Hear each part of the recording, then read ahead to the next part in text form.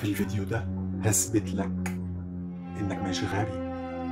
الثانوية العامة هي اللي غبية فرجوا لمامتك فرجوا لباباك وقول لهم أنا مش غبي.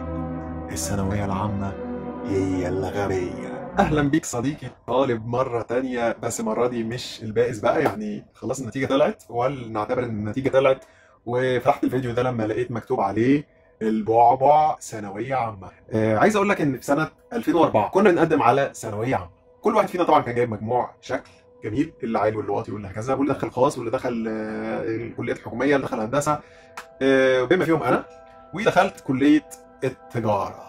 والتجارة شطارة يا صديقي.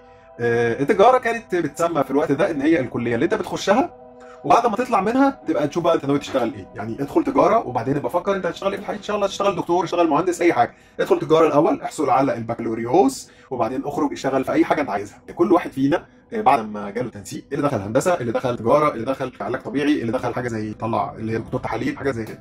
أنا عايز أقول النهارده آه، إيه اللي إيه اللي حصل لكل واحد فينا؟ كل واحد فينا النهارده شغال في إيه؟ أنا بعد ما دخلت كلية تجارة آه، اشتغلت رسام. من أول يوم أول يوم دخلت في كلية التجارة كان حلمي طبعا إن أنا أدخل كلية آه، فنية علشان أدرس الفنون الجميله أو أدرس أي آه، نوع من أنواع الفن.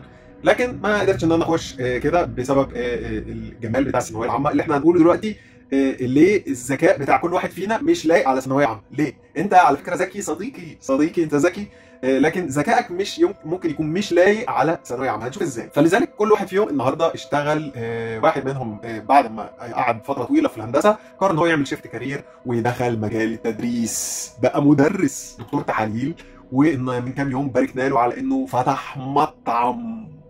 واتنازل عن آه، التحاليل. يا جماعة لأن التحاليل طبعا أنت بتتعرف على حاجات بتشوف حاجات كده غريبة في المعمل. وخصوصا طبعا العينات بتاعتنا يعني يا جماعة برضو مش أحسن حاجة في الدنيا برضو يعني معلش يعني. آه، نحاول ما ناكلش كتير الحاجات اللي هي طيب ليه يا جماعة إحنا ما بنخشش الكلية ونطلع نشتغل منها على الشغلانة بتاعتنا على طول؟ ليه كمان في معظمنا بيخش ثانوية عامة ما بيجيبش الدرجات اللي هي آه، بتدخله الكلية اللي هو نفسه فيها؟ ليه كلنا بنخش الكليات وبيبقى بابا وماما دايما بيقول لك يا دكتور يا مهندس يا مش عارف إيه.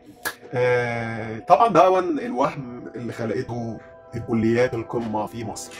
وطبعا الوهم ده قايم على إن اللي بيشتغل دكتور اللي بيشتغل مهندس هم أحسن ناس في البلد أو آه، يعني اللي هم بي- بياخدوا فلوس كتير. لكن للأسف طبعا بعد ما كله بيتخرج من الكليات بيصطدم بالواقع إن حضرتك لازم تجيب فلوس. أهم حاجة إن أنت تجيب فلوس. طب الهندسة؟ طب الطب؟ طب أنا بتمرمط في ال- الدكاترة بيتمرمطوا في في الاستقبال. الدكاترة بيتبهدلوا مش عارف كل حتة. علشان حضرتك تفتح عيادة بعد كام سنة وتاخد مش عارف ماجستير ودكتوراه وتعمل اللي علشان تشتغل بعد كده آه، دكتور الموضوع طلع مش بالساهل.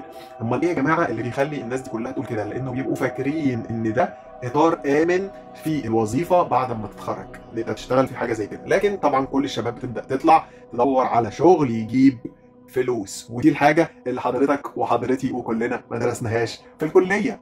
يعني عايز أقول كده بيني وبينك أنت اتضحك عليك أو مش أنت اتضحك عليك إحنا اتضحك علينا. ليه اتضحك علينا؟ علشان يا صديقي في ثمان أنواع من أنواع الذكاء. وثانوية عامة بتقيمك على واحد أو اتنين منهم بالكتير. بيقولوا أول حاجة الذكاء المنطقي، الذكاء المنطقي، إيه هو الذكاء المنطقي؟ ده بيكون ذكاء المبرمجين مش الذكاء بتاع مرسي. ما هو المنطق؟ المنطق اللي هو أخبط واحد على دماغه يقع ما يحطش منطق، لا مش هو ده، المنطق اللي هو إن أنت يبقى عندك الذكاء المنطقي إن أنت يبقى عندك حب للمعادلات حب للبرمجيات حب للحاجات اللي زي كده. ده أول نوع من أنواع الذكاء. هل درست برمجة صديقي الطالب في ثانوية عامة؟ تاني نوع هو الذكاء اللغوي. الذكاء اللغوي اللي هو بيكون طبعا عند الناس المحبين للغة. يعني حضرتك ممكن تكون جايب 50 من 50 في العربي 50 من 50 في الإنجليزي 50 من 50 في الفرنساوي ودرجاتك واقعة في بقية المواد. ليه؟ لأن أنت عندك ذكاء لغوي. حضرتك ممكن تكون آه، بعد كده مثلا آه، راجل مترجم ممكن تكون راجل صحفي لكن ثانوية عامة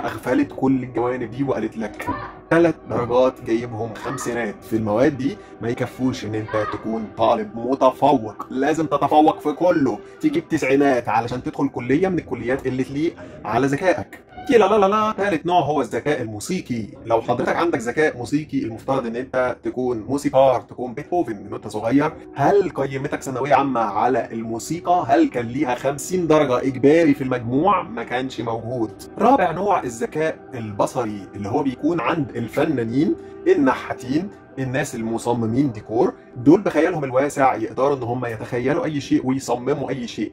هل ثانوية عامة ضافت لك 50 درجة في المجموع على الرسم والنحت والتصميم؟ ده ما حصلش يا صديقي مع إن في هذه الأيام اللي إحنا فيها المصممين من ضمن أهم الشغلانات الموجودة في العالم حاليا وللأسف هي مش موجود عليها أي تقييم في ثانوية عامة. خامس نوع حبيبنا فخر العرب الذكاء الحركي الذكاء الرياضي اللي عند مين؟ ها أبو؟ أبو؟ أبو صلاح أبو صلاح حبيبنا كلنا يا جماعة الذكاء الحركي الذكاء الرياضي. هل يا جماعة حصة التربية الرياضية موجودة في ثانوية عامة وعليها 50 درجة للناس اللي بيقدروا يتحكموا في أجسادهم بيتحكموا في عضلاتهم يتحكموا في حركاتهم.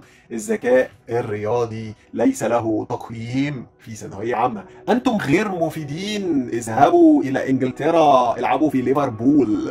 أفحمهم احرجهم ساتت نوع ساتت اللي هي زي إيه؟ أستاذ إبراهيم اللي ساكن في الساتت أيوه الساتس أو ساتت نوع هو الذكاء الاجتماعي اللي عند حضرتك تقدر إيه، بدل الناس اللي بتعقد إخواتها الموظفين في الاتش آر بدل شؤون الطلبة اللي بيجيبوا هارت أتاك للطلبة بدل الموظف اللي بيبقى قاعد في مكتبه وعمال يشرب شاي وياكل وأنت بتقول 50 سؤال في الثانية وهو مش شايفك أصلا كل الناس دي يا جماعة مش في مكانها المناسب لأن ما عندهاش ذكاء اجتماعي. الناس اللي عندها ذكاء اجتماعي هي اللي المفروض تبقى موجودة في الأماكن الاجتماعية اللي تعرف تهندل الزبون تهندل العميل. دي الناس اللي المفروض تبقى في الأماكن دي. لكن للأسف مش بيكونوا موجودين لأن التنسيق وداهم هنا. سابع نوع اللي هو الذكاء الطبيعه ده الذكاء اللي أنا بسميه اللي هو عارفين الولد اللي كان بيمشي يشوط الطوب وهو صغير يمشي يشوط الطوب يقوم خارب الكاوتشي ويروح ماما تديله علقة سخنة. هو ده الذكاء الطبيعي اللي هو كان اللي بيحب الطبيعة بيحب طبقات الأرض يحب الجيولوجيا يحب جسم الإنسان يحب كل شيء له علاقة بالطبيعة. هل حضرتك رحت المعمل وشفت أنواع الأحجار؟ هل حضرتك رحت المعمل وشفت جسم الإنسان؟ هل حضرتك رحت المعمل وشفت أنواع الزروع؟ ما أعتقدش. تامن نوع وأعتقد إنه مش الأخير الذكاء النفسي اللي هو بيكون عند علماء النفس. اللي بيروح عندهم الناس يبقى نفسوياتهم تعبانة يطلعوا نفسوياتهم مش تعبانة. بعد ما اختصرت لك الثمان أنواع بتوع الذكاء أعتقد أنا في رأيي الشخصي إن مش مش هي دي كل أنواع الذكاء اللي عند الإنسان. دي بس الأنواع اللي هم كتبوها في كتب وقالوها. لكن أعتقد إن في آه، يعني أعتقد إن في مئات من الأنواع الثانية اللي موجودة في مخ الإنسان. ولكن النظام العقيم للثانوية العامة هو اللي زنق حضرتك في كورنر إن أنت تختبر في الحفظ والتلقين وللأسف قيمك بطريقة ظالمة إن حلمك بيتوقف على ثانوية عامة ودي كذبة كبيرة. هذه كذبة كبيرة. حلمك موجود في إيدك. أنت اللي قادر تحققه من أول يوم في حياتك لآخر يوم. ثانوية عامة عمرها ما هتحدد حلمك هتش- هتشتغل على إيه هتنجح في إيه هتعمل إيه. ثانوية عامة ما هي إلا وهم كبير. حلمك تشتغل عليه من أول يوم. انسى ثانوية عامة وانسى اللي حصل فيها وانسى أي تقييم البلد أو الدنيا عايزة تديهولك. انت بنفسك اشتغل على نفسك حقق حلمك بإيدك. لو عايز تدرس أي حاجة اليوتيوب موجود ليل نهار. كل شيء موجود النهارده في الدنيا ممكن تتعلمه من اليوتيوب.